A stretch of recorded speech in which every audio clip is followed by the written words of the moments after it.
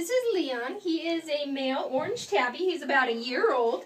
He's very sweet and loves scratches. And I don't know if you can hear him purring right now. He's very happy to be here. He's very sweet. So come on down to the Rifle Animal Shelter and meet Leon. He's got a little crook in his tail too. So cute.